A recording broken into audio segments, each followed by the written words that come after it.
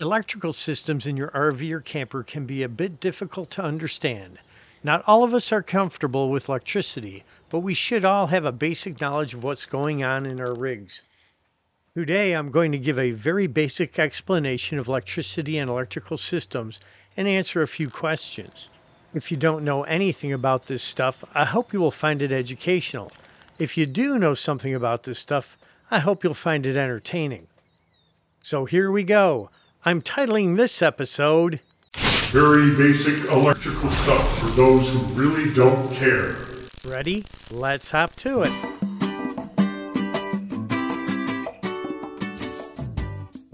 I guess the best place to start to explain how the electrical systems in your RV or camper work is to explain how basic electricity works. I've watched other videos, and most of them get pretty technical and kind of, well, boring. I'm going to try something different. Forget about electricity. Let's talk about babies. Most of us know about babies or grandbabies. One thing babies want is to eat. So let's say these babies are really fond of juice. Here's a drum of their favorite. We will call it 120 juice. Here's a hungry baby and it would love to have some juice. Now let's say we have three hungry babies. They all want the juice, so we hook up a hose to supply juice to each of them. Here they are sucking juice. This hose has just enough volume so that each of the babies is getting enough juice to keep them happy. One baby might need more juice than the other, but it doesn't matter as long as the total juice they all need doesn't exceed what the hose can supply. Now what happens if we add another hungry baby to the hose? We were already at the limit of the juice being supplied, so this obviously isn't going to be good. In our example, the babies now suck so hard that the hose collapses. Not only that, but all the effort they are putting in trying to get enough juice causes them and the system to overheat. Overheated babies are not a good thing.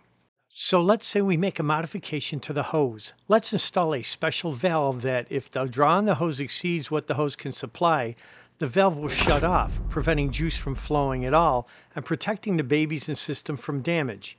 Without any juice at all, the babies just stop functioning. Uh, wait, let's just say they go to sleep. That's a little more family friendly.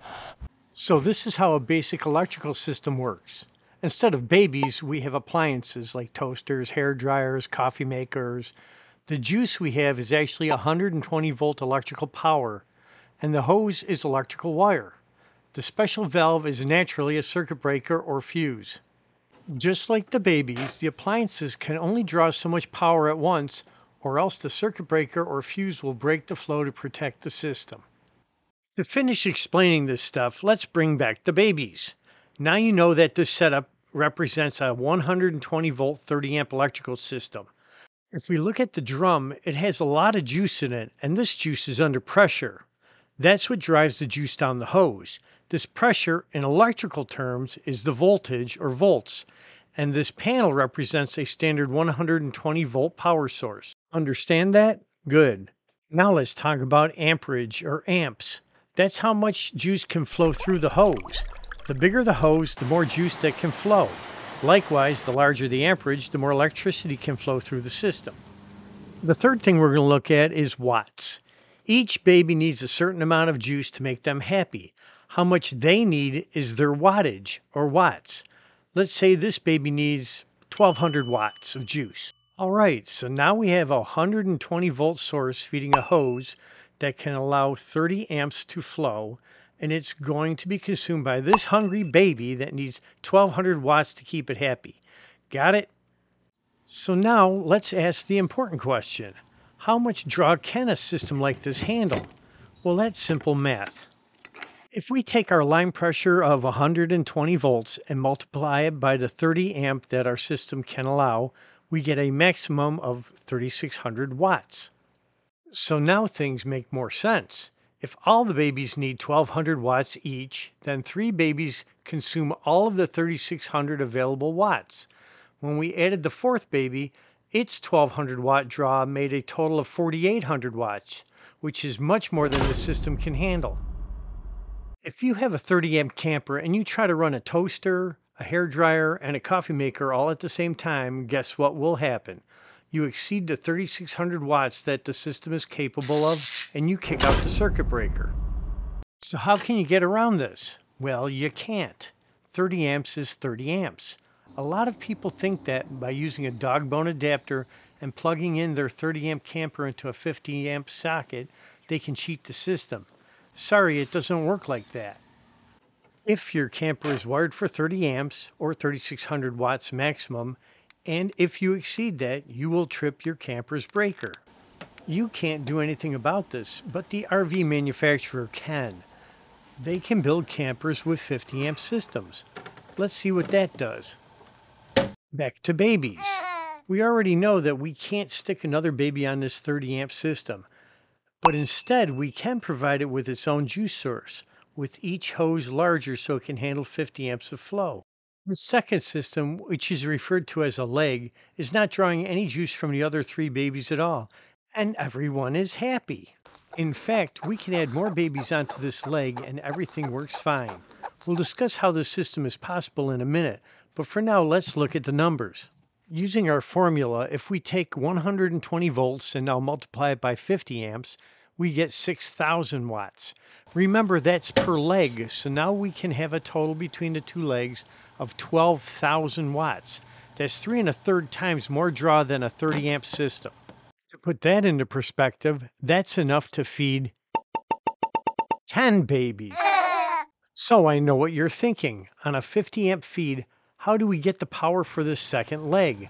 Well, that's because the 50 amp outlet at the power post is actually a 240 volt outlet. What? How can that be? You said that my camper is only using 120 volts.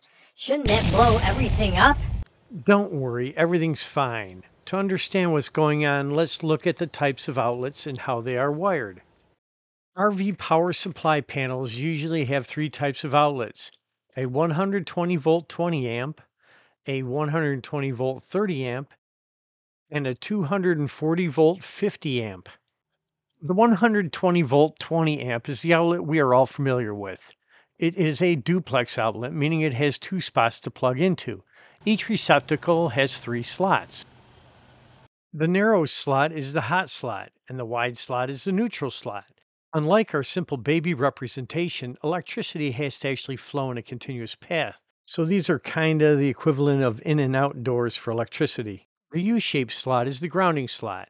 That is the backup pathway just in case there is some sort of breakdown in the main system. It's part of all these wiring systems and is there to help keep you safe. This is a 30 amp outlet. Most campers under 28 feet are wired for 30 amps and will use this outlet.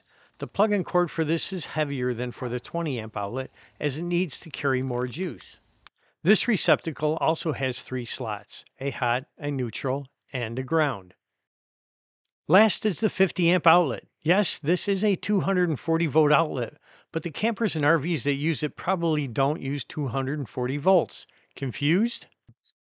Okay, let's go back to the juice drum in the hose scenario.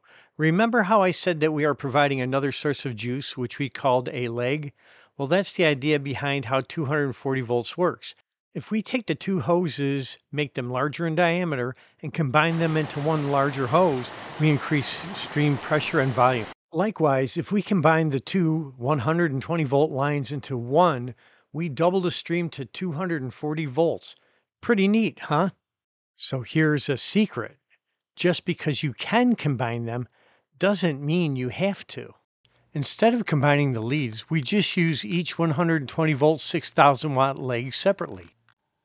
The breaker box is wired with two main breakers, one for each leg. One half of the power panel is wired to one half of the camper, while the other half is wired to the other half. Now there are some larger RVs that actually do have 240 volt appliances like clothes dryers, electric ovens or such, but they're more of an exception. A pretty good indication as to if a camper or RV is wired for 50 amps is to look at the air conditioners on the roof. If there's only one AC unit, it's probably a 30 amp rig. If there are two or more ACs, it's going to be wired for 50 amps. The Powerline pigtail for 50 amps is also much heavier than one for 30 amps. In a 50 amp dual AC unit, each leg of the panel will have one of the AC units wired to it, plus about half of the other appliances. Since AC units take a lot of energy, this is the best way to distribute power to them without overloading a leg. You might ask, if 50 amps seems so much better, why don't they just make all RVs 50 amps? Well, there are two main reasons need and cost. If you don't have a lot of appliances that need a lot of power, then 50 amps would be unnecessary. 30 amps should be plenty of power for an average camper. 50 amp systems are also more expensive to manufacture, which would be passed on to the consumer and make medium to smaller campers even more expensive. Oh, there's just one more thing for you people with 30 amp campers. If you're not in a campground and you see one of these outlets, don't assume you can safely plug into it. These are also commonly installed to use with welding machines or clothes dryers and will be wired for 240 volts. Plugging into one of these will not be a good day for you or your rig. That's all for this episode. I hope you enjoyed it. Don't forget to high five that like icon, jingle the notification bell, and go ahead and subscribe. Thanks to everyone for watching and supporting my channel. To me, you are all superstars. Until next time, keep camping.